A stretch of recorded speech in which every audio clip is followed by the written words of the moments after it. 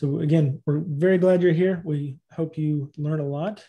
Stick around. We do have a plan to do a quiz, and I hear that there's a gift certificate for the lucky winner or the informed and educated winner. So yeah, without much more ado, let's welcome Josh Barnhill. He's going to be covering our community moment on senior as a senior analytics consultant for Slalom and talk to us about the Tableau e-learning program. And we can see your screen. Go ahead, Josh. Nick, thank you, and, and welcome everybody, and, and, thanks thanks for taking this time. And it is it is a real pleasure to, to join you.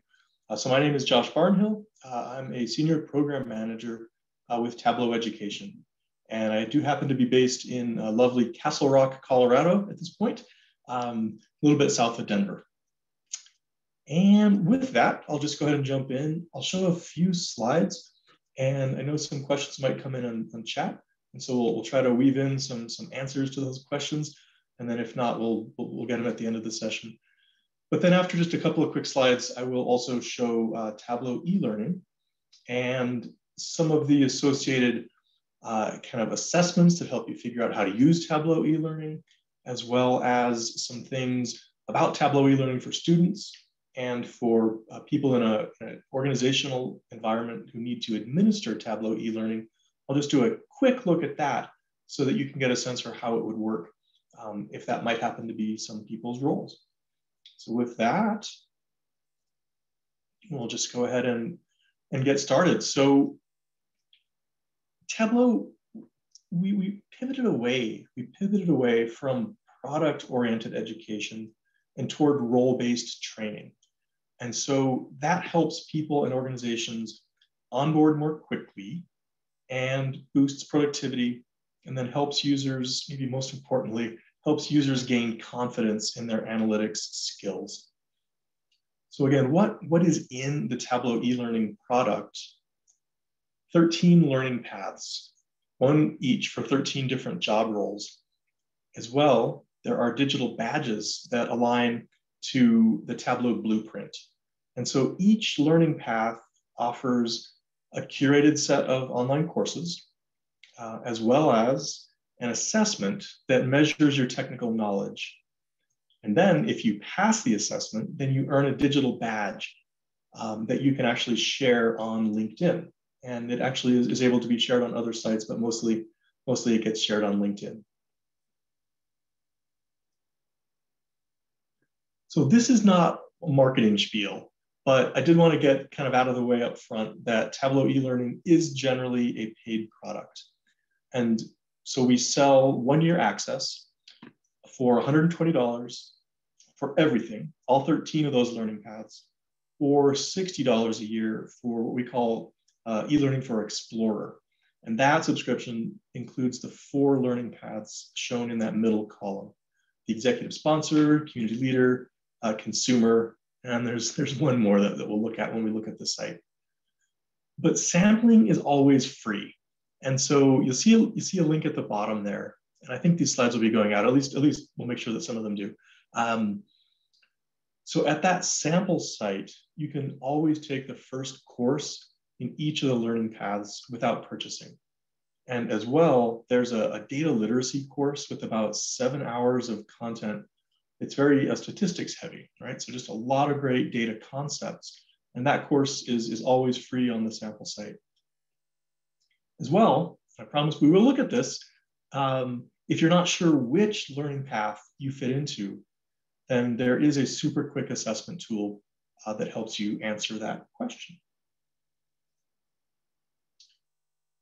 These are the learning paths. Um, I mentioned 13, I think this shows 12 there really are two author paths, depending on whether you are uh, more of a desktop author or more of a web author. And so, yep, and then that, that adds up to 13. You can see that they're, they're grouped into three different categories, just depending on whether your job role is more about enabling a data culture uh, or about that, that middle column of sharing insights and developing visualizations, uh, or if it's about you know, deploying and managing Tableau environments. And there are three different, three different paths there. this might be my last slide before we, we start looking at Tableau e-learning, or there might be one more after this. I wanted to, to tip you off that if you're in an organization that buys Tableau e-learning for you know, a number of people, then that organization has the ability to look at user analytics. Man, maybe this is a surprise. Maybe some folks are, are using, using Tableau at a company and they didn't realize that somebody might, might have the ability to, to look at their, um, their uh, usage. And so, yeah, for an organization that buys and then provides e-learning to, um, to employees, then that's, that's an option. And besides a really high level snapshot view that you see here, that's just showing you know all up course registrations and active students and then total session time. Then there are also detailed reports uh, by course and per student and then per enrollment, which is the concept of um, enrollment is just one, one course as registered by one student. So every kind of student course pair is considered an enrollment and an organization can see the whole list of those and see a bunch of details about those. So with that, uh, right, so just before we, we maybe pause for questions and, and go to the demo, I did want to put up these, these um, statistics just to show you know why, why e-learning matters. Um, it helps you work more independently. Uh, that's, that's what our, our users are telling us. And that, that goes to the way that it's been um, designed and the way that it's organized on the, on the portal, the way that the paths work, the way that people feel more confident. Um, as well, you know, people are digging in deeper to Tableau after they take e-learning. They're feeling more, some combination of inspired and, and capable and confident to, to try things that they hadn't tried before. So with that, I'll just pause for a moment just to just to ask, uh, you know, I don't know if it's Nick or others, if, if there were any questions that came in that we wanted to cover now. Otherwise, I'm happy to jump over to the demo. It look, looks like we do have one question uh, from Brandon. Uh, how, how do you connect to the data source for the e-learning analytics? So I think. Oh, yeah. yeah, I think I think I know what you're getting at there. Um, what we do, well, so you can work with your uh, account rep. And it's just a pretty simple request that the account rep can make. Uh, they usually know how to how to make it. If not, they they find me and, and we, we get that we get that request made. And then maybe one or two people in the organization just by email address, uh, we'll get them signed up and then they get an invitation email directly from um, Skilljar, which is the hosting portal for Tableau e-learning. So uh, the answer is, is talk with your account rep and they can make it happen. Well, great. Well, I am going to be looking down this way, so don't don't mind that. That's just me looking at, at my laptop screen. Um, so I mentioned that there was a quick and easy tool to help you figure out which uh, which learning path might be right for you. Essentially, it's based on your job role, but some people's titles and roles span multiple things, and this this just helps you helps you kind of focus in. It's a very easy quiz, so it's it's just two questions. Um, here I'm just hovering over the, the three choices for the first question. I'll, I'll go ahead and say, hey, I use Tableau for, for insight analysis or data visualization. Oh, and of course, there we go. Yeah, good. I was gonna say it's a demo, so of course it's not gonna work. And then and then the second the second question pops up and it gives you a little more detail on that. Uh, you know, I'll say I leverage Tableau as my main visualization tool for sharing insights. And then it's going to say uh, for advanced analytics and machine learning projects. I guess I should have read the, the rest of that. And then it's saying, aha, okay, so your learning path is probably data scientist.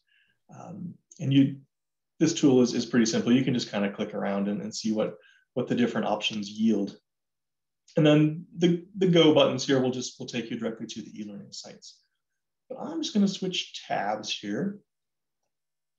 And I'm going to walk through briefly the those three sites that I mentioned. There's the sample site, and then there's uh, e-learning for Explorer, and then e-learning for Creator.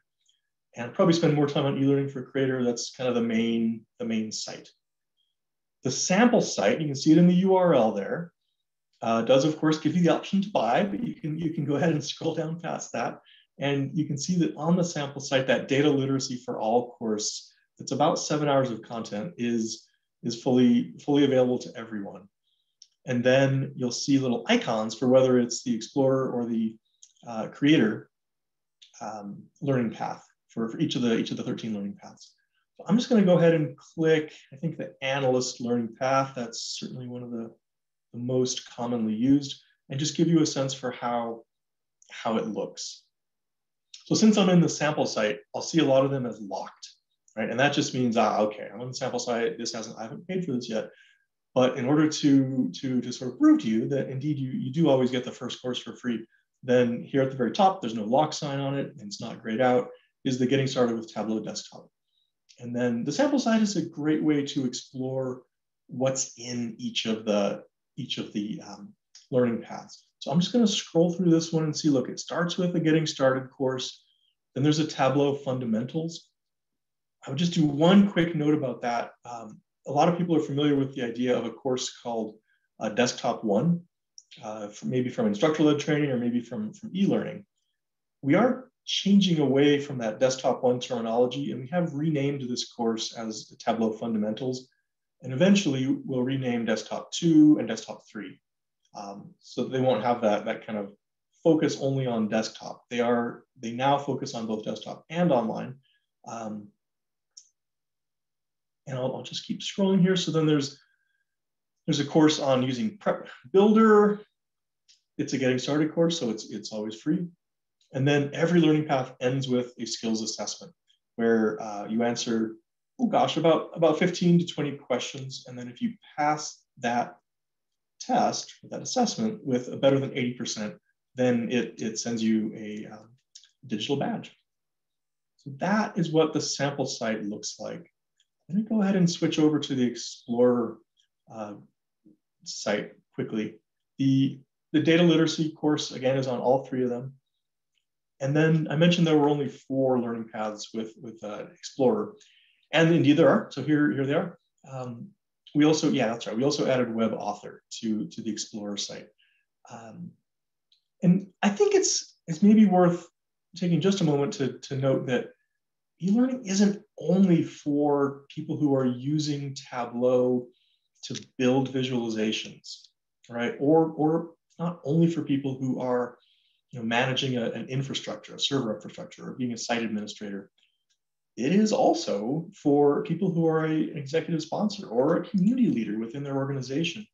Um, maybe they're not, maybe they're maybe they're using visualizations, they're, they're consuming them, um, which is the, the primary focus of the consumer path. But really, someone's job role can be, hey, I want to be a sponsor for, for data culture. I want to be a sponsor for analytics within my organization. And the learning path and then the badge are very helpful uh, for someone to be able to do that. So it's, yeah, it's it's not only for, for folks who are sort of you know using Tableau desktop or Tableau online to build things day in day out. I think that's worth noting, and you see those two here in, in gray. With that, because we do have lots of stuff to look at, I'm just going to go ahead and jump over to really to our, to our flagship product, uh, which is Tableau e-learning for Creator. And I'll go ahead and launch, I'll go ahead and launch a course in here. There are some navigation features here. You can display, you know, sort of all content or just the learning paths or just uh, a few kind of independent standalone courses that may also be in the learning paths, but we like to kind of show those separately. Let's go ahead and click that briefly so you can, you can get a sense of what those additional courses are that might not quite fit into a learning path. Um, so some do, like Desktop 2 and 3 and Tableau Fundamentals. There's also a a great um, and somewhat underused course. It kind of goes in waves called Certification What to Expect. This gives you, um, as an e-learning course, just kind of a more fun way to, to, to consume this information than, than you know, maybe on a PDF. You can get a sense for, ah, what is all about uh, Tableau certification? How does that work? Um, as well as Tableau services and support. Uh, this, this course also, I think because it hides at the bottom of the page, uh, people are maybe less aware of it, but it's, it's terrific. Um, it gives you a really good overview without having to click around to a bunch of web pages to understand right how how to support um, and and all the different all the different services, not only education, um, work at Tableau in a really structured, organized way. And then new feature spotlight as well. And I will go ahead and click this one just so you can get a sense. And so in in many quarters, not in not in every quarter, but in many quarters when there's a large um, release, then we we show all, not all, many of the new uh, features. We'll call it a curated list of the new features of, of that Tableau release. And it takes you, so kind of no matter um, where you're at in your journey, if you just want to focus on what's new, what's in that new release, um, kind of without you know learning the whole product, then you have the ability to do that with with this course. And so you can see in, in this release that was that was featured, there's Einstein Discovery, uh, there's the quick LOD calculation, and ask data. Yeah, just wanted to kind of show you that really quickly. I don't want to dig deep into this course, but let's let's dig a little deeper into a different course. So we had looked at the analyst path. I'm just going to click that again. And now you, you don't see those lock signals anymore. They don't see the lock icons on, on each of these tiles. Um, you do see Tableau fundamentals. I'm going to go ahead and, and, just open up this course really quickly so you can get a sense uh, for what it looks like. I, uh, I will claim that I did complete Desktop 1 e-learning when it was called that. Uh, but now that I'm retaking it, I'm only partway through the, the newer version called Tableau Fundamentals. And I'm just going to go ahead and click. I'll just, we'll just start here at the beginning. I won't, I won't dwell on this, but I'd just like you to see what sort of what, what the interface looks like. Um, just a little bit bigger. So you're always going to have navigation along the left and with, you know, nice, nice completion markers. And then you'll be able to, to sort of scroll down here in the, in the main section. Uh, most of these courses have, have a component of, of reading, right? So there's some content to read, but then there are frequent, frequent videos.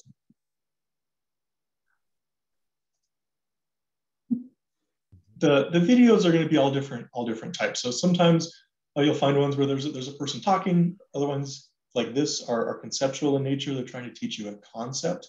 And then there are many others that are um, literally showing the screen and, and showing you this is like, this is how it works.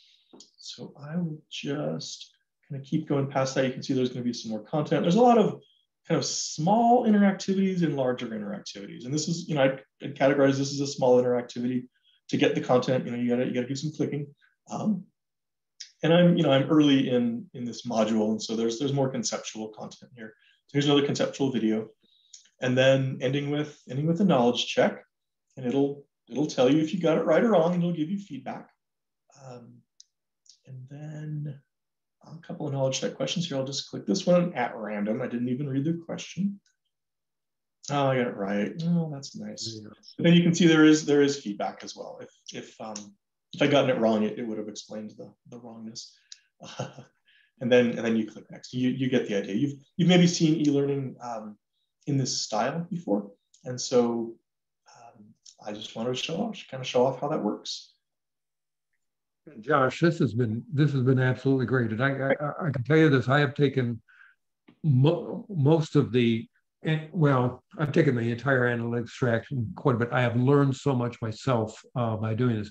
We had two uh, two questions come up. One was a question about the new features. Uh, do I have to have a e-learning license to go through the new feature modules?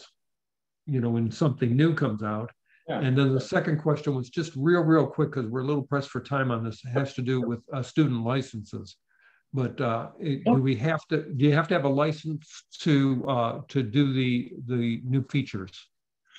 Uh, you you do. Yep. So the the new feature spotlight is is not one of those that's that's free on the sample site, and so okay. and. You know, and yeah, and but, I will tell you because I I go out and I use them whenever whenever there's a new release. They are excellent. Okay. They are excellent. They are really really good. And then the other question was about students and and uh, who qualifies as a student and, and, how does that program work? Oh, oh, well, um, so from my perch, uh, my, my perch is, is, is really on the, on the um, I guess the commercial side, right? And so the, the part of e-learning that, that we sell, there, there is a, a great group that, that also works on the academic side of things. So I, I wouldn't be able to say too much about sort of how the program works or who qualifies, except to, except to just point out that you know tableau.com slash academic is, is going to get you to this section where uh, students um, who have to be validated. Um, and I know that they work with, they do work with a validation company that's able to kind of understand, go a little deeper than just, is it a .edu or, or not? And I don't think you have to use a .edu, but they're able to, to figure out or to somehow work with the universities and the colleges to figure out, look, are you a student or are you not? And I'm sure there's a way to appeal that um, if, if there was an issue. But I did want to just point out that indeed you do get you do get uh, Tableau e-learning for Creator um, when you sign up uh, as a student, and you also get Tableau for free um, as a student. I'm just scrolling to the bottom here because yeah, there's there's always a way to get to take a free trial of Tableau. This you know this link would give you a 14 day free trial, but everyone I think you know knows about that anyway. But then at the top right, free student license right? And see, so then, then you end up here. Um, students at accredited institutions are eligible for a free license. Uh, so this is not for instructors. Instructors click here and they go somewhere else, but students fill out this uh, piece of information. And then there's a verify student status. I've never gone through that one myself, but I know there's a, a little bit of a process. Um, I have gone through it, you know, and when I was a student, um, not for Tableau, but for others. So I understand there's a bit of a verification process. I don't have the details behind that exactly. But see, they work with uh, SheerID um, on that. Um, and do I have another minute or two, or, or, are we are we at time? Either way is okay. Yeah, we're, we're, we're kind of pressed now, Josh. This this was really great. I, just for any parents in the room, you do not have to be a university student. You can be a high school student if you're 16 years or over you individually can get free uh, you can get free educational materials and free copies of tableau if your teacher if you are a teacher you can apply for uh, free licenses for your entire class you don't have to be at the university level thank you okay uh, i'm happy to wrap it up there for if we're pressed on time um,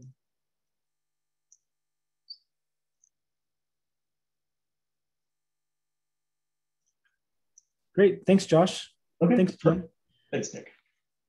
And yeah, with that, we're ready for our next segment. Let's see.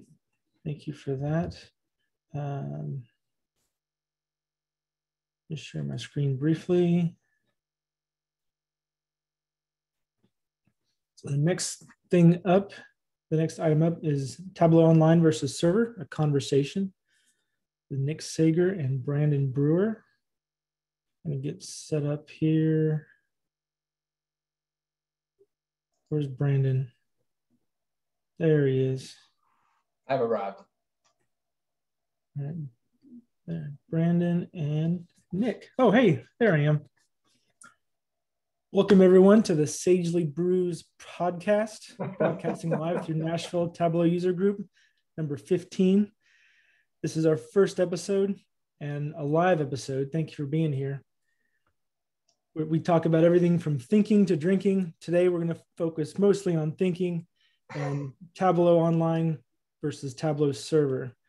Brandon, how about you introduce yourself to our audience today?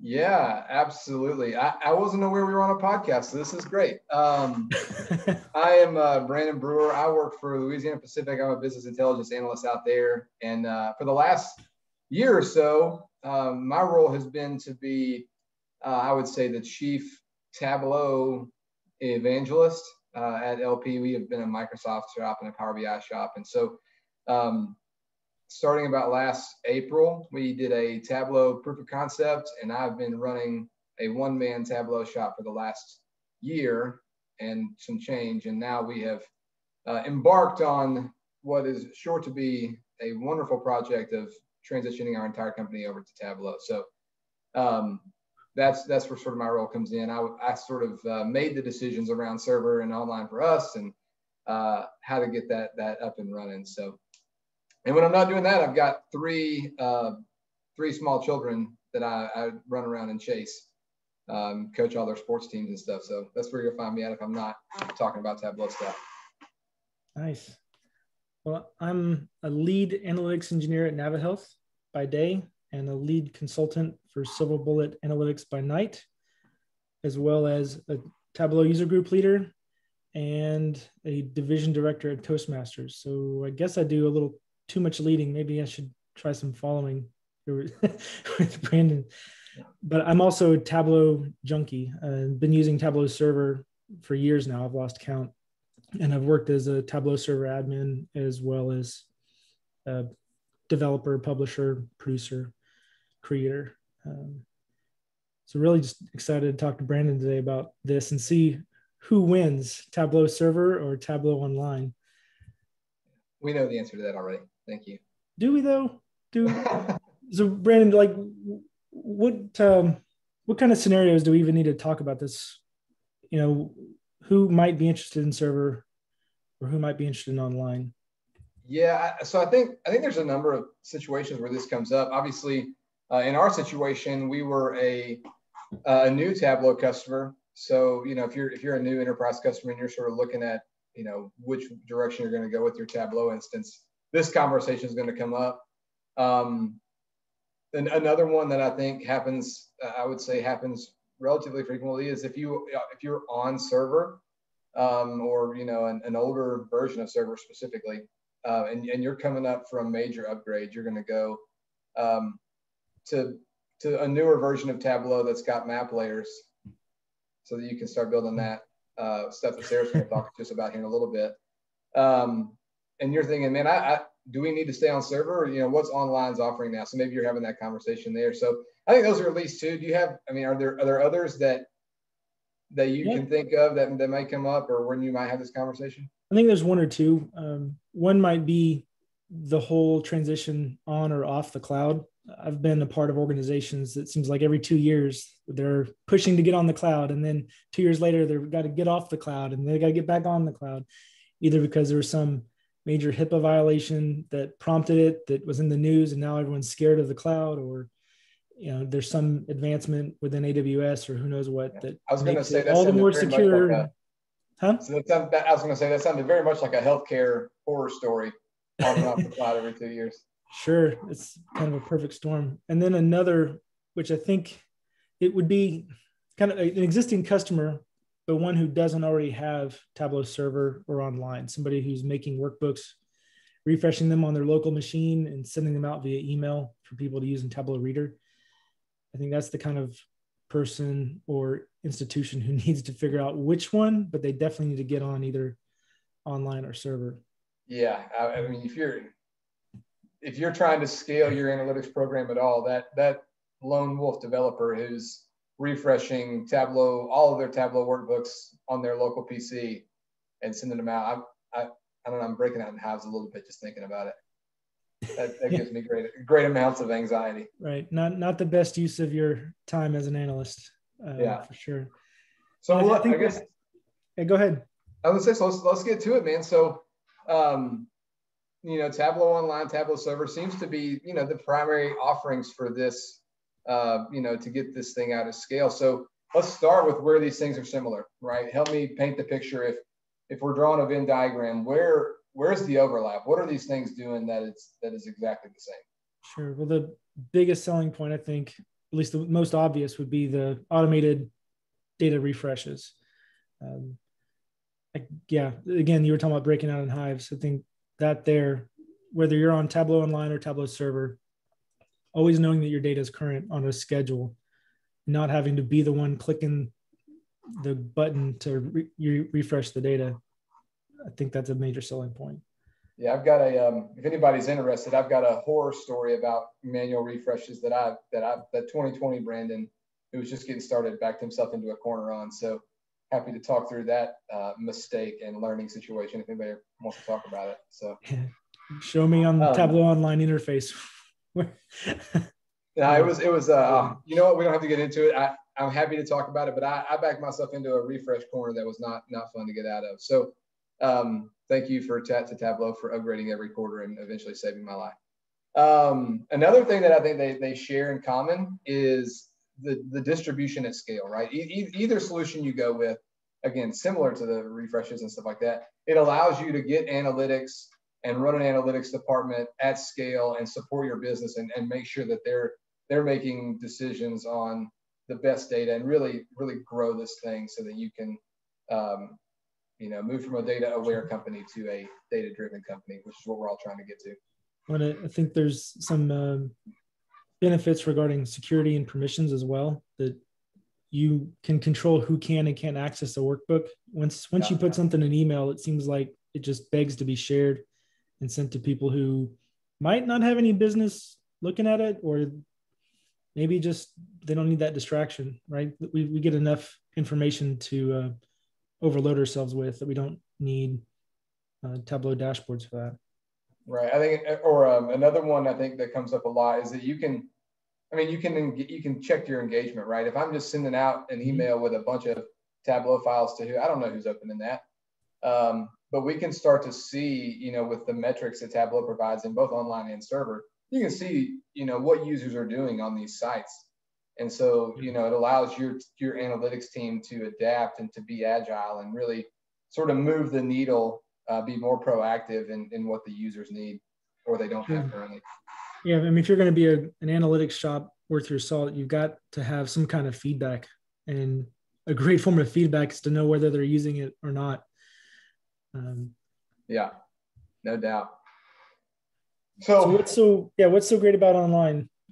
Like yeah, well, I think uh, I, am going to speak specifically, you know, because it's very very close to my heart. I'm going to speak specifically to our our instance, um, and I think the the number one front and center thing for us, um, again, I, I've been uh, you know sort of a one man Tableau shop for a little bit while we did the proof of concept, sort of rolled things out, showed it to our business, and sort of proved out the value.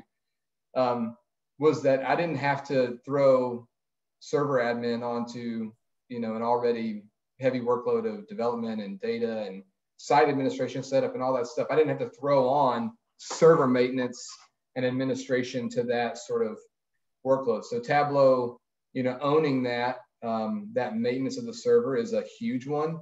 Um, as part of that, um, I get the latest version of Tableau as soon as it comes out. You know, because I don't have to wait on you know, the, the work log of our team or internal IT or anything like that on our operations or server side. Tableau's, you know, get, I'll get an, a notification several weeks in advance, like, hey, we're going to upgrade your Tableau online. And then it is, and it works, and everything's perfect.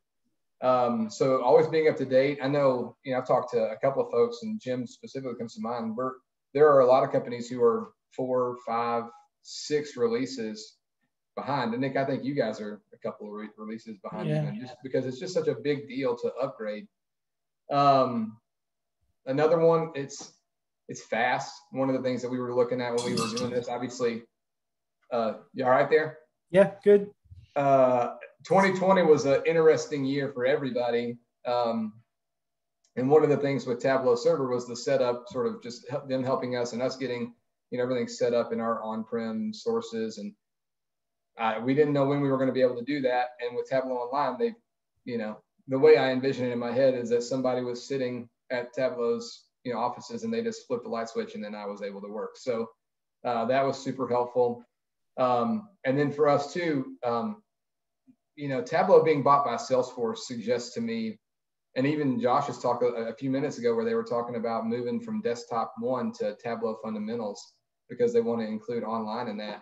I think I think Tableau and Salesforce and that merger is is they're moving, at least in my opinion, it, it seems like they're going to be sort of cloud committed, um, and cloud com- and committed to the online offerings that they can that they can provide. So I, I can only imagine that things are just going to keep keep getting better uh, with Tableau Online, and they're they're pretty good already. So I have no complaints.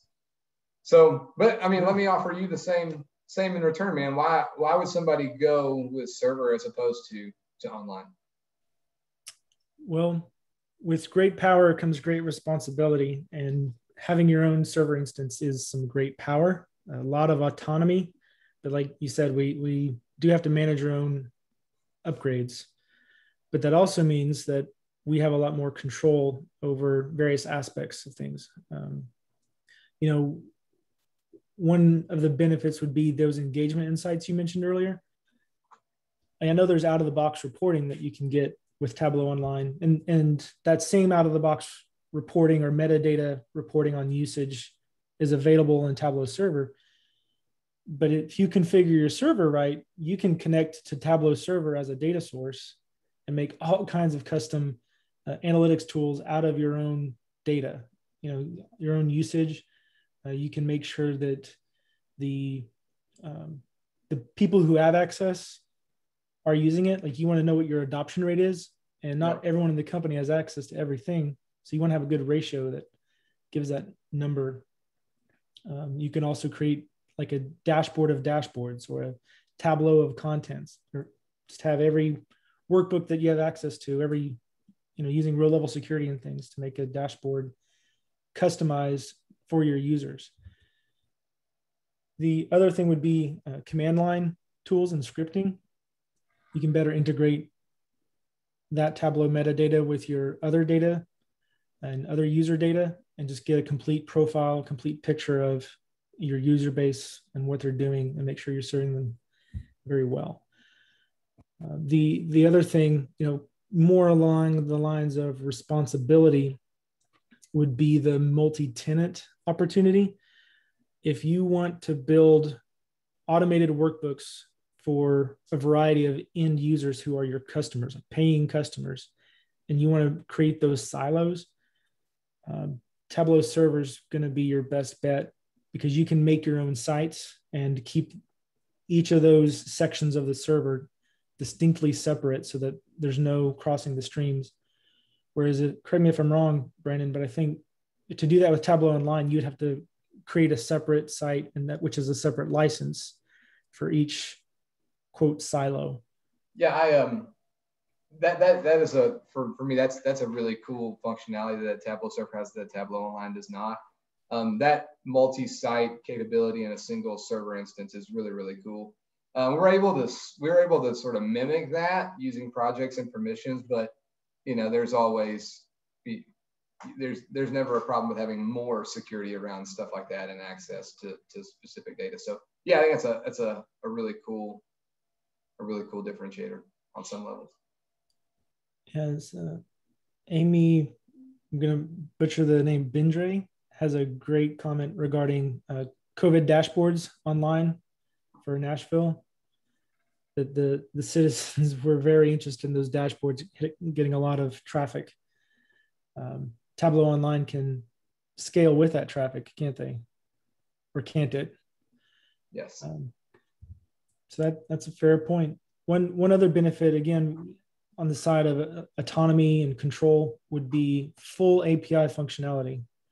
As, as I understand it, um, all the API calls you can make against Tableau server are fully available, but there may be some limitations with Tableau Online.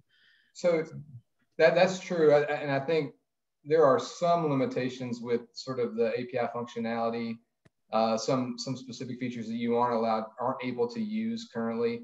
Same thing with command line. We can do command line things and, and do a lot of that with Tableau Online. There are just features and, and, and parts of that that you're you can't you can't access. But when we when we ran that sort of I guess um, analysis on what we could and couldn't do, for our for our use case, there was nothing in those API functionalities that we didn't have in Tableau Online that was a a deal breaker. So yeah. I don't know. I, I, I, may not be the best resource on that. I don't know exactly everything that Tableau Online doesn't have functionality to do, but the stuff that we wanted to do, we were able to. Sure. And I think the only other thing that would make Tableau Server a no-brainer for an organization or for an analytics team, again, around that control and that autonomy would be uh, compliance. You know, I know that lots of cloud implementations can be or are supposedly natively HIPAA compliant or um, great for being secure around people's private information. But there's a lot of institutions, especially a lot of IT departments, that just say no. You know, there's no cloud ever.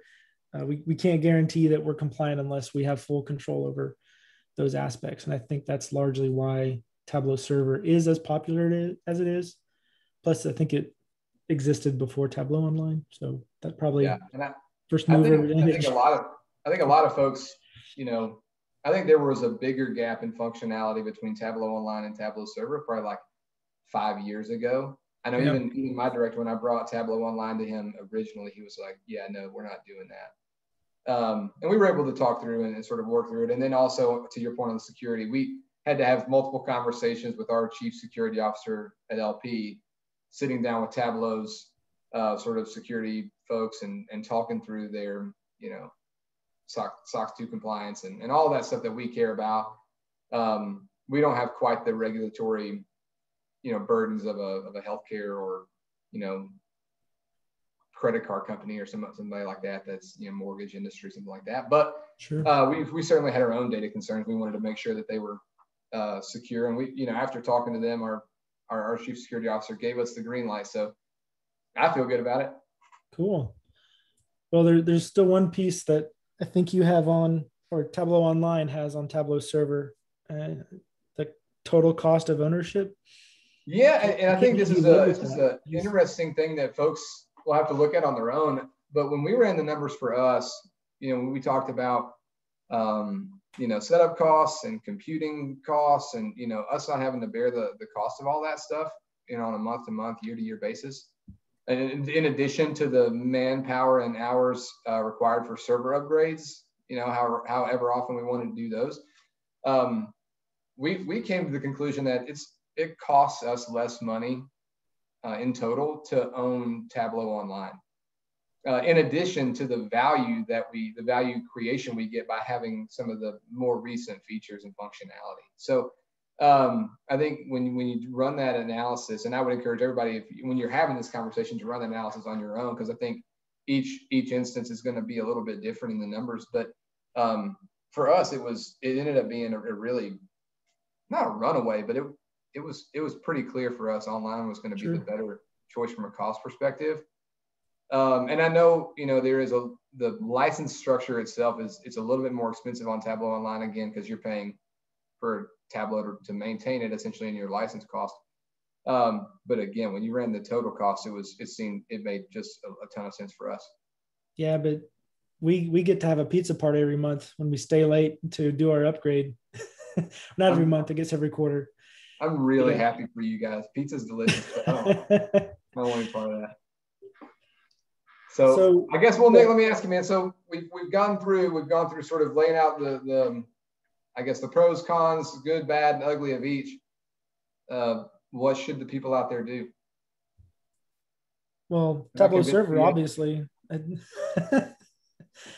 no, I mean to cut to the chase a bit. I feel like it's almost like the default answer is Tableau Online, unless you can't, and unless you have those those um, those features that you need, such as the multi-tenant or the compliance considerations you know you, it won't support anything unless they're the ones that own it sort of deal um, and then i you guess know what? what you're used you know to. what nick I, have got to just tell everybody i have we've done this talk a couple of times together and your position toward tableau online has softened a little bit each time and i think progress here well you know there's an audience now i, I don't want to rib you too much so yeah I, I, think i mean even for me man i think to your point um, it, it, just depends, right? It depends on sort of your use case.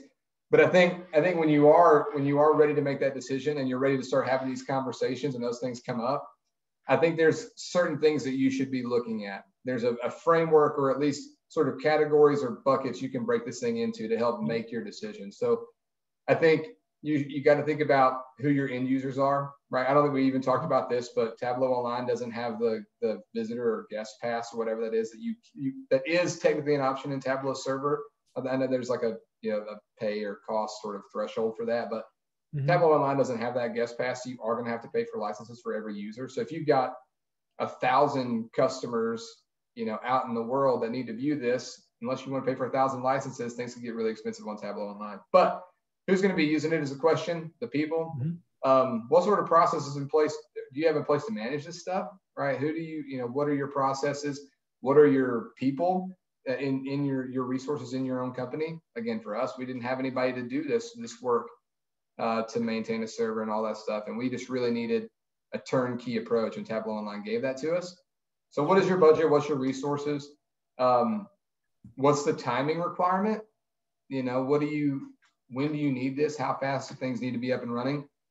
and then I think too, to your point, Nick, what's the industry that you're in, right? If you're a healthcare in a healthcare industry, um, and HIPAA and and all that stuff is going to be a huge deal, and you if you have a HIPAA breach, you are not, you know, it's not just a you have a data problem. You've got front page of CNN problem, right? That's that's additional that's additional concerns, and I think things that people need to take into consideration. But I think if you can sort of follow that framework of your people, your processes, your resources, the timing, and then sort of what industry you're in. Um, if you can bring it into those buckets and have conversations around those buckets, you're going to be able to get to the, the decision that makes the most sense for, for your specific use case. As much as I want to say it's Tableau online every time, I just don't know that I can do it. Uh, the, the options exist for a reason. Well, that that's all the time we have today for this episode of Sagely Brews. Thank you for your attention, and you will catch us at the next episode. Subscribe to where all your favorite podcasts are found. Uh, let's clear up the spotlight. There we go. If you all prefer gallery view, that is an option. Next up, we have Sarah Battersby. I'm going to share my screen once again.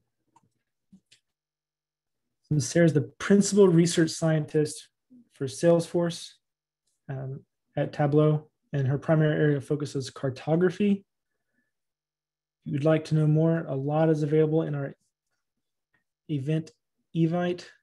Let's welcome Sarah Battersby to talk to us about map layers. Sarah.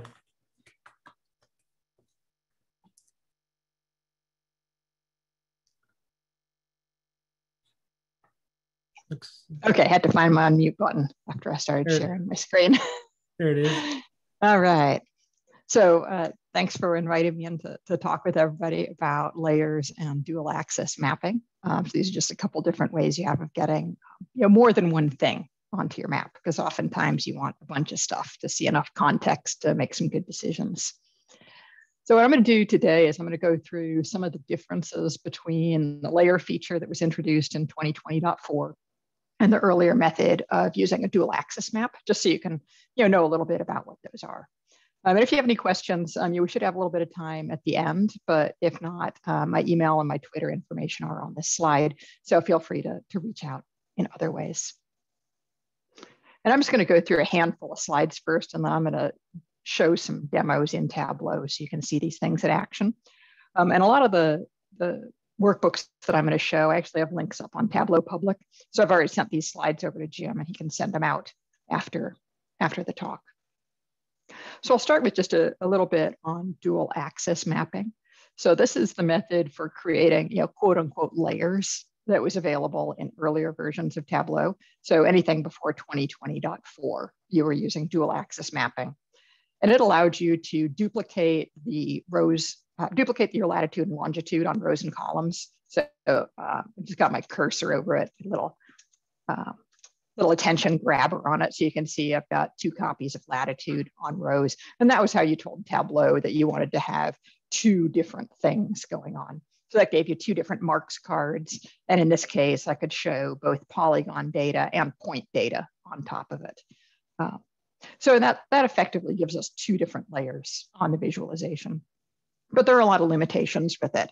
Um, yeah, you can only build up to two different layers and it you know, requires a single data source. So you have to figure out ways to get your data sets to talk to each other, which could be a little bit, um, sometimes that's a little bit complicated. Um, I ended up answering so many questions about how to make dual axis maps that I wrote a blog post on the Tableau community forums specifically on that, where I just went through every kind of data file that I could think of and how to squish them into a dual axis map. So if that is something that you need to do, um, I have the link to the dual axis mapping many ways blog post uh, up at the top. I think that's probably my best read blog post. Um, apparently it, it, struck a chord with people that making a dual axis map was, was kind of hard. So fortunately, in 2020.4, we introduced a layering feature for maps. So that allows you to build out as many layers as you want in your visualization. You, know, you don't have to stop at two like we had with the dual axis. I mean, in fact, the, the map that I put on here as an example has seven different layers on it, which is you know pretty cool. Just kind of keep adding stuff on there um, until you get the context one that you want. Um, and recently in 2021.2, we introduced this layer control widget, um, which is a really nice feature. So I'll just highlight that on this, this image here. So that layer control widget actually allows, you know, so not only you can build up a map with a bunch of different layers on it, but you can give the user some control in adjusting those layers. So turning them on and off or locking them so that they aren't included in selections. And that's really nice because it means that you now have control over layers from outside of the editing um, portion of a worksheet. So if you're using this on server or online, as we just heard a, a, a good debate about those two, you know, if you haven't this up on Tableau Public, Tableau Server, Tableau Online, or you're just sharing a workbook with somebody and you're on looking at something on the dashboard, you can use this layer control widget to then interact with the layers and turn things on and off. And there are a lot of really neat, um, really neat applications for that that I'll walk through a few of those. So a super important note, um, whether you're working with a dual axis map or with layers, is that um, at this point, you do have to get your data together into a single data source. So in other words, you have to figure out how to get all of the different parts that you want, you know, your spatial data and your non-spatial data. You have to get them all talking to each other.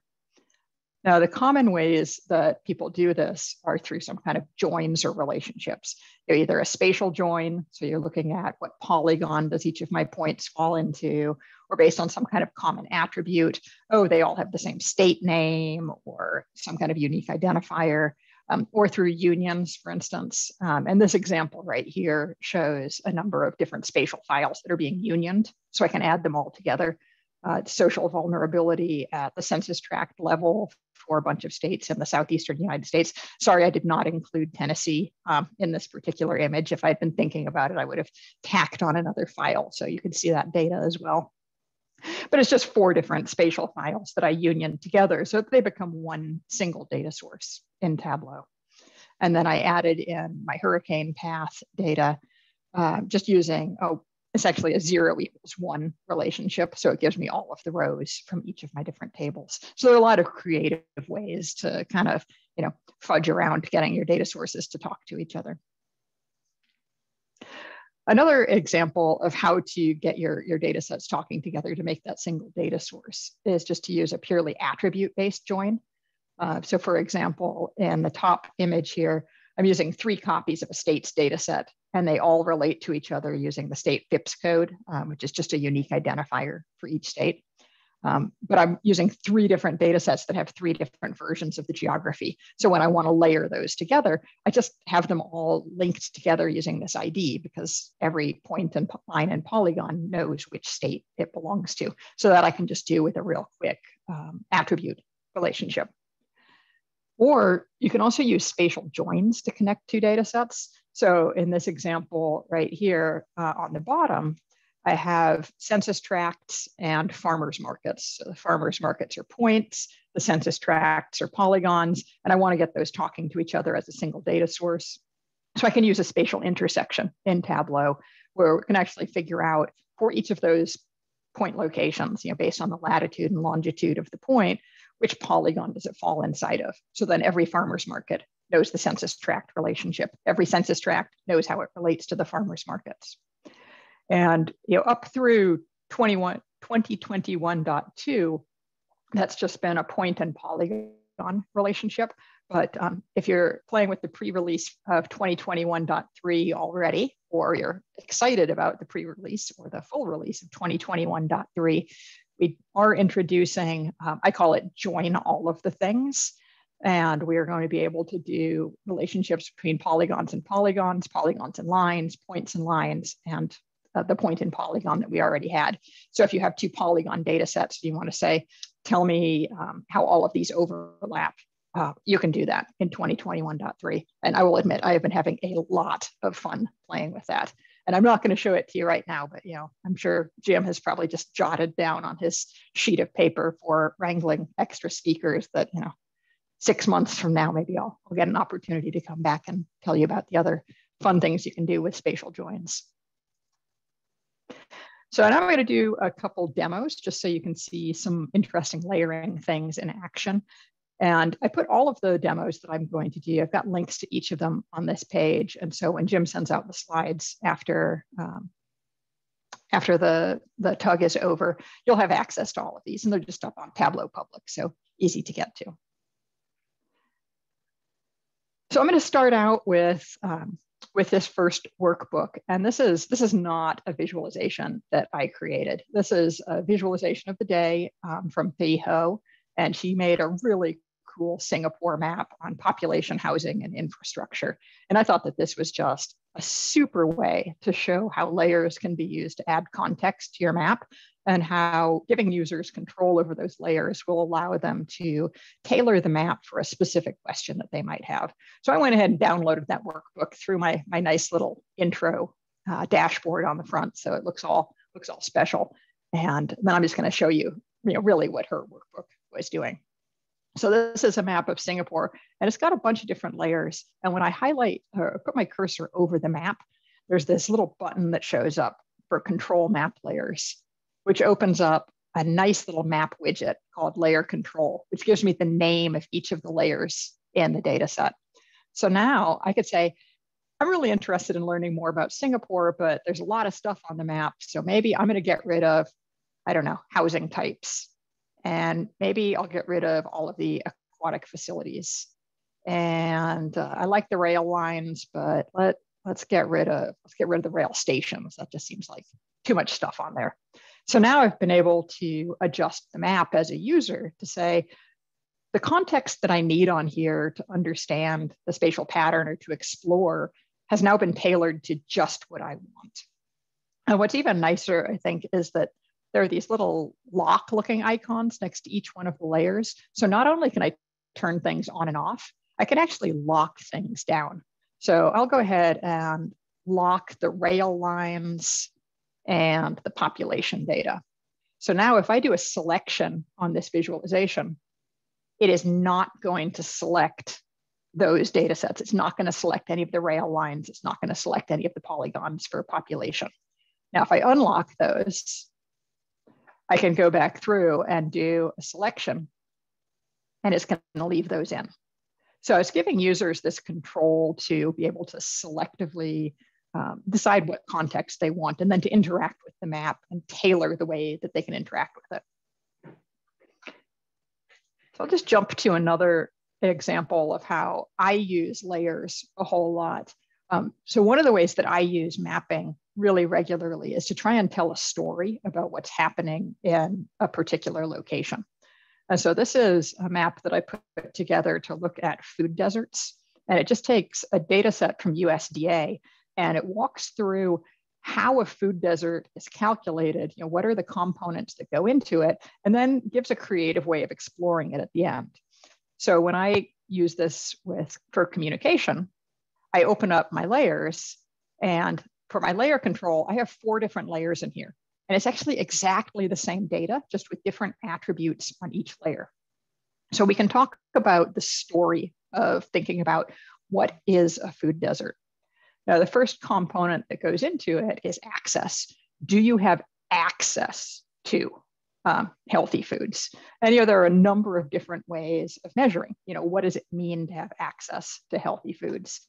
And so I have a parameter and I actually have it on the workbook over here on the right-hand side with the, um, I think seven different, def seven or eight different definitions that can be used to define whether or not a census tract has low access or not. So I can use this parameter now and I can change the binary variable that's showing on my first layer of my map. Maybe I wanna know which, which tracts are low access when I consider access to be um, less than half a mile. So I can change to that particular uh, choice. It'll recalculate. My computer's been moving a little bit slowly today, so I apologize. Uh, this is normally a pretty quick workbook, but I think I've done something strange to my laptop. Um, and I probably have to restart it, but I'm not going to do that right now. Um, the point is, you know, I can pick any of these different um, different parameter options and see how access changes with that particular choice. So we could talk about access, which count, which tracts have high access, which tracts have low access, but that's only half of the equation.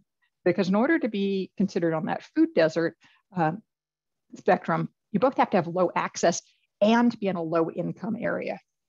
So then we can look at that second attribute, which is just whether or not a census tract is considered low income or not. So we can move on to that. We see another visualization of South Carolina where we've just got this binary for each of the census tract. Are you low income? Are you low access? But we have to combine the two of them in order to understand if it's somewhere that would be considered a food desert. So you have to be both low income and low access. So then we can turn on that third layer and we can see the combination of how these two attributes get put together. And what I've done on this layer to make it more interesting for people who are interacting with it is I've added in this tooltip on this, just on this particular layer so that you can see um, the access, the in, so we're showing low access using vehicle access and at 20 miles in rural areas. Yes, that's true. And you can see all of the other access metrics. So you would be able to see for any of the other ways of calculating access, does this tract, um, is it a, a, cool way of looking at the data sets together and saying, oh, you know, this particular census tract is really sensitive to how we define access. But there are some other census tracts. Let me see if I can find a good one here. Yeah, I'll never be able to do it on the fly. Um, but there are some census tracts that are always um, low access and low income, no matter what definition you use. So then if we keep, you know, kind of talking through the story of, you know, what makes for a food desert, um, yeah, you might mind as a food desert because you need to be both low income and low access. So then I add another layer on top to finish out the story that shows what's called a bivariate choropleth map. And I'll just jump over to my income and access dashboard because that might make it a little bit clearer what's going on with this data set. Um, but I have two different, um, two different measures, access or low access, low income or not low income. So I could now go through and highlight things independently and say, here are all of the locations that are low access and low income. Oh, but maybe it might be interesting to know what all of the places are that are low income but have reasonable access. How are those distributed? or all of the locations that have low access but are not low income. So I could highlight those instead. So I can use the layer option to just walk through that story.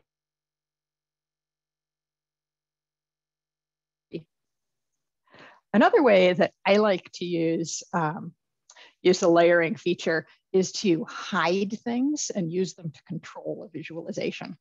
So one of the complaints that I have heard um, in Tableau with point features is I don't like it when I filter down to a single point location and the zoom is just way too far out.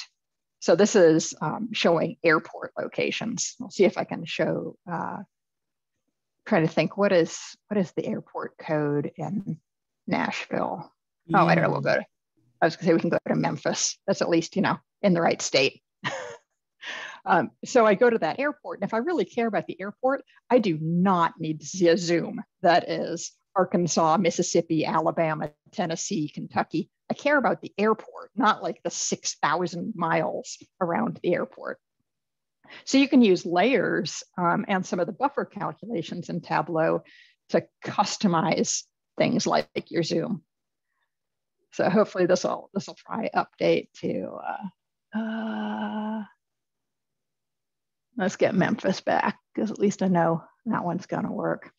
So here I'm zoomed to the Memphis airport, but notice it's a lot closer than the default zoom on that last map. And I have a toggle. So I could say, oh, I want a buffer distance. I want to look within a mile of the airport.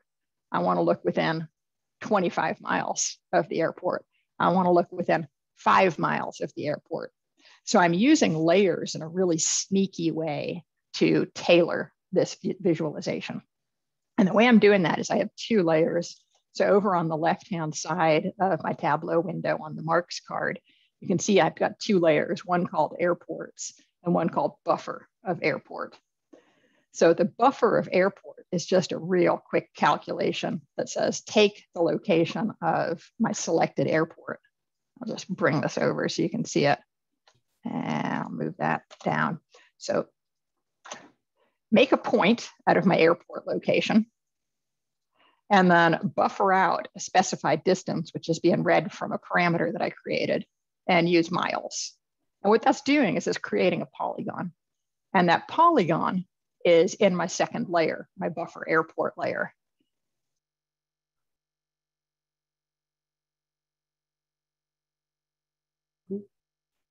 Did we lose Sarah?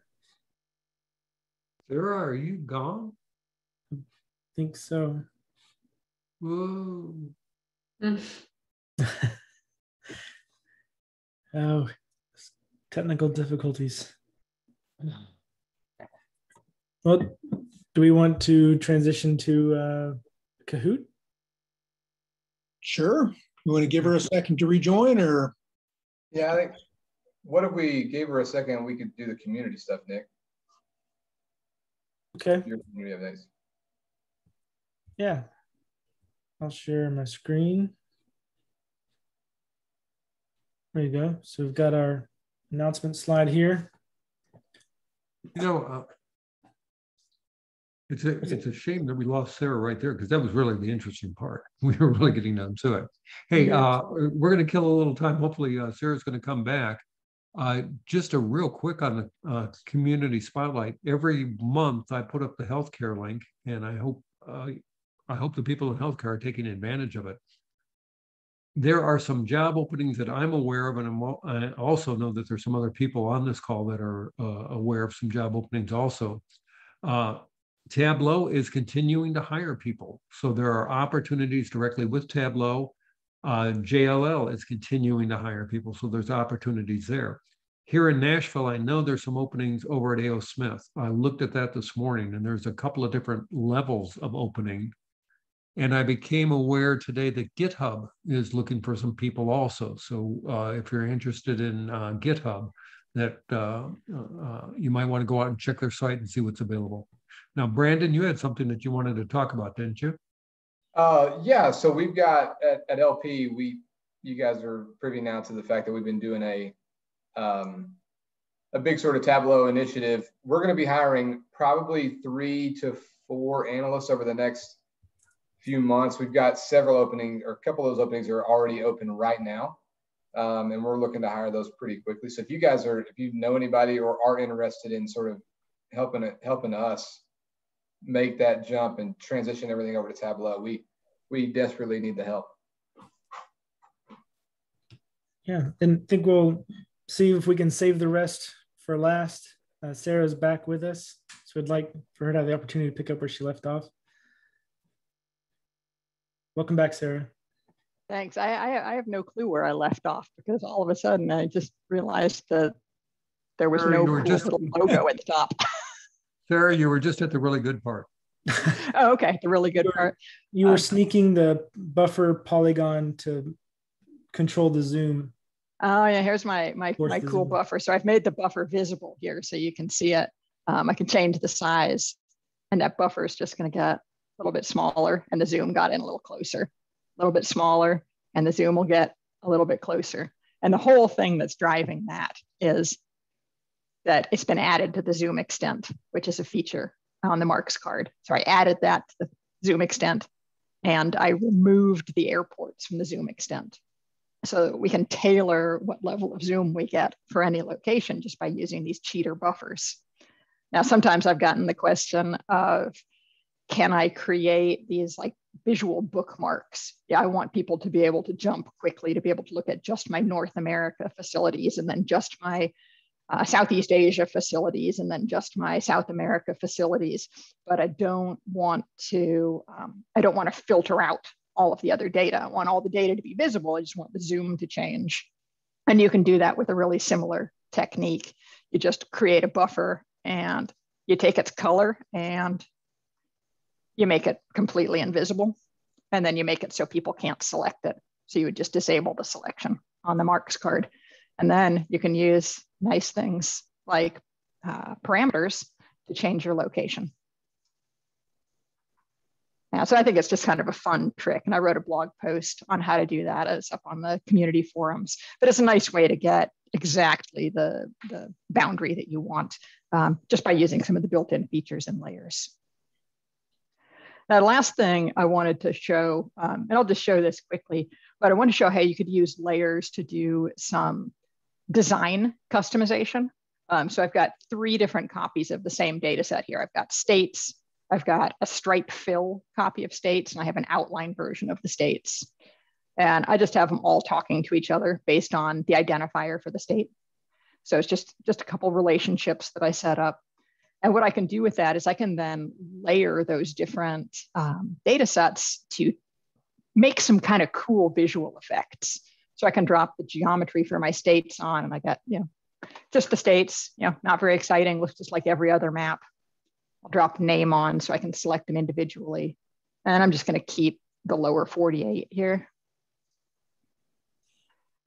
So I've just got my states and I, I get this question all the time, which is, I want a really cool outline on each of my states. And I was like, oh, but there is an outline. Look, you know, there's this nice color and I can go in and say, oh, I want that outline to be red. And yay, great. Now I have a red outline. And they're like, no, no, no, no, no. But I want to actually be able to control that outline. So I just add in a second copy of my geometry that's just the outline. So I'm going to drop that on as a new layer. So I've got my states outline right here. And now I have this, this nice blue outline that's shown up and we'll make it, uh, know, we'll make it yellow because that's kind of a good bold color. So now I've got this yellow outline that looks very much like the black outline that was around the states by default, except now I can control that with the size slider. So if I want a thicker outline, I can do that. If I want a thinner outline, I can do that.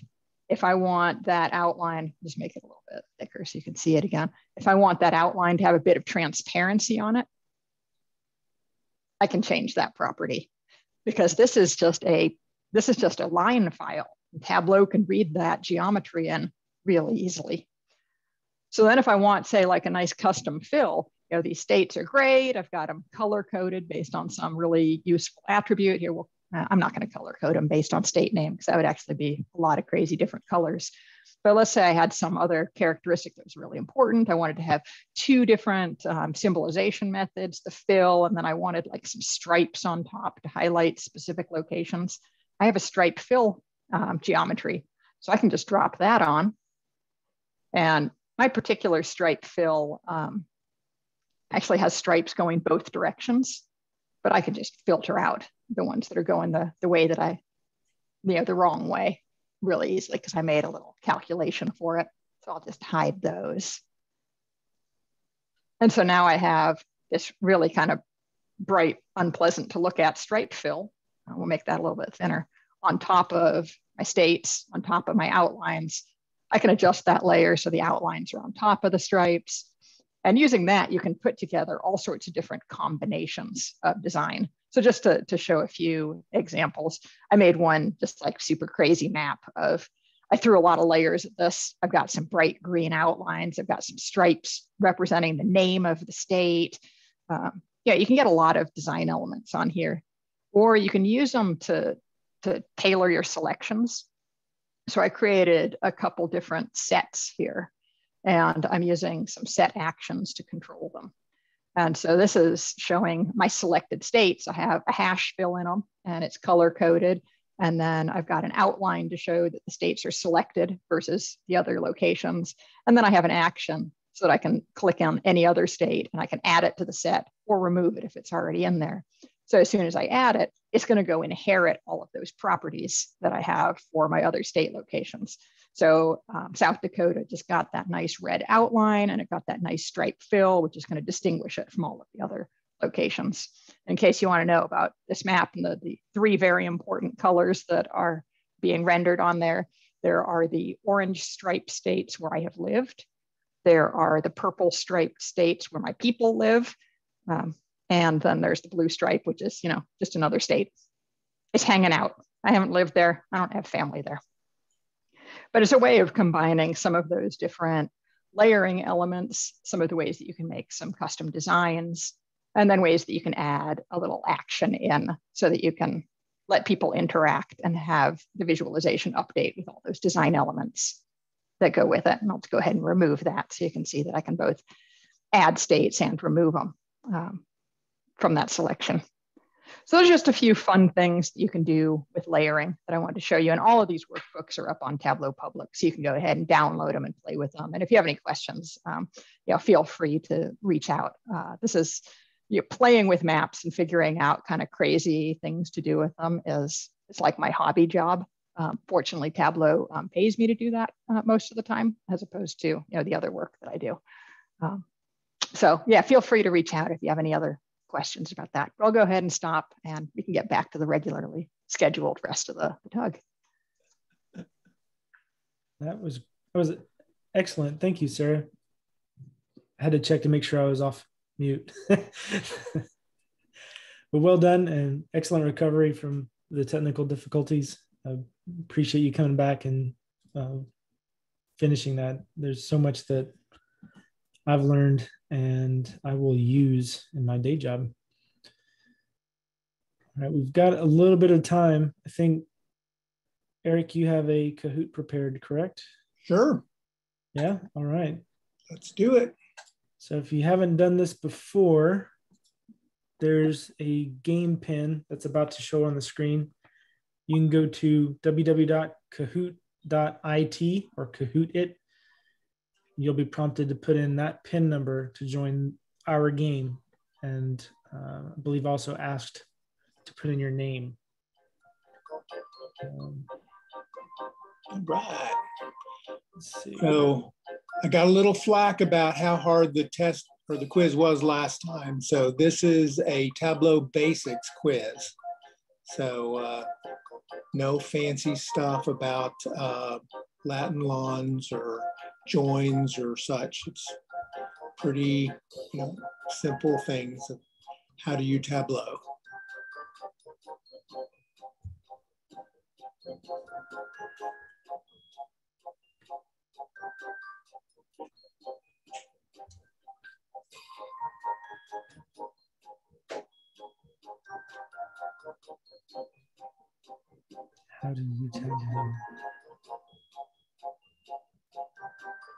We go. Any more takers? The clock resets if you join. So you got seven seconds to give everyone else a chance. Four, three, two, one. All right. So today's basic quiz. First one is just a poll. Answer any uh, one that you want. What are you good at? So analytics and business intelligence, artificial intelligence, business functions, or programming in R and Python, etc. Tell us what you like to do. I am definitely not an AI guy.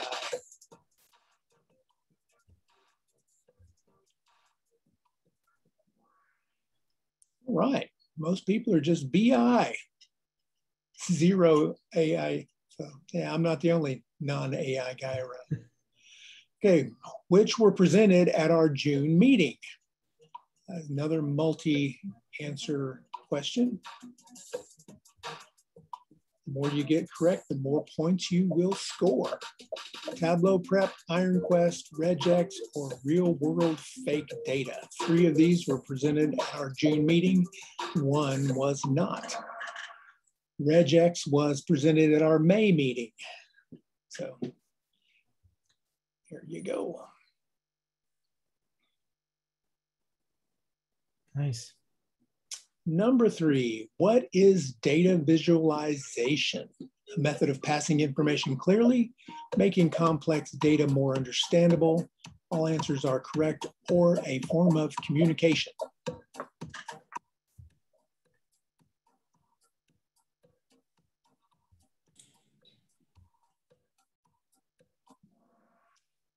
All answers are correct. There you go. Seven people got it right. Congratulations.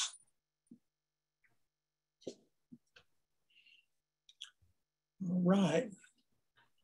Number four, which KPI is behind pace? And I will apologize, I did not make this graphic or be more readable.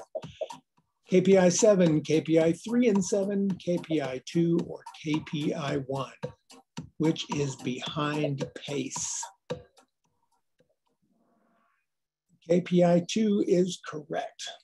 Wow, everybody got it right. Maybe I don't have to apologize for that graphic. I thought the text was pretty small. okay, which purpose of the bar, the purpose of a bar graph is to present continuous data. look at pretty colors, show change over time, or compare categorical data.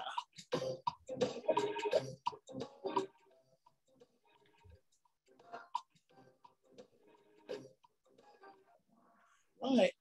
Wow. Everybody, uh, maybe I made this too easy. Everybody's getting them correct.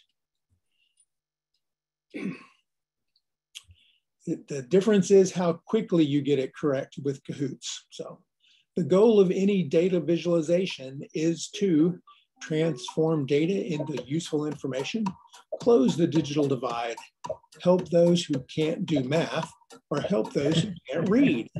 but the two bottom ones are correct, both correct. I, I think I've got some of those users. Yep. Oh, Brandon. Brandon snuck in there for the win. All right. Thank you all for playing today. Thank you for setting that up. You're welcome. It was fun. And I will stop sharing. Thank you, everybody. Thank you. All right, so back to our regularly scheduled program. We're doing just fine on time. I will share the PowerPoint again. All right, should be able to see Jim's slide. Uh, where did we leave off? We were at the point where Brandon was talking about uh, an opening that he had, and yes. and after he's done, we'll open it up to the floor if anybody else has a uh, job opening or they're looking for an opportunity. Yeah, yeah, I was done. Uh, other than to say, we're doing senior and and junior. So whether you're entry level or a couple of years or a, real senior, we we need everybody. So other than that, hit me up. Okay. Sure. Um, we at Nava Health do not have a rec up just yet, but we are having an opening for an associate level position. Um, I'll put my email if you're interested or would like me to send you the link when we have it. I will do that. Um, Anybody else out there?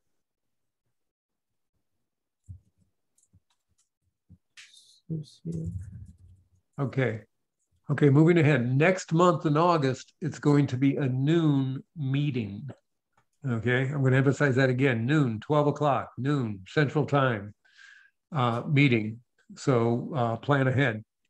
Now we've got Anna Ford, and for those of you who don't know uh, Anna, she is a she's she's a great speaker and she does some wonderful storytelling.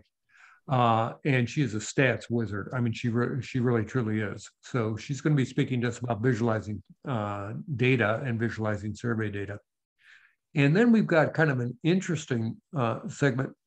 Uh, Lindsay, do you want to do you want to introduce this?